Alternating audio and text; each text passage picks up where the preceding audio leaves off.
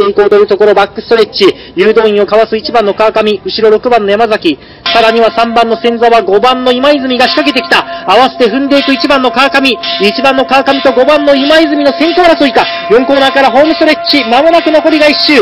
5番の今泉が前に出ましたが、2番手収まったのは1番の川上か。その後ろは6番、9番と並走状態。さらにはその後ろ3番の千沢続いている。1番の川上が2番手をキープした。さあ5番の今泉の先行、2番手は1番の川上、4番の川田のまくりが3番手外まで上がってきている。しかしこれは少し勢いが止まったか。5番の今泉が先頭だ。4コーナーから直線。今泉先頭。追うのは川上。外から3番の千沢。1番の川上か最後はわずかに川上抜け出したか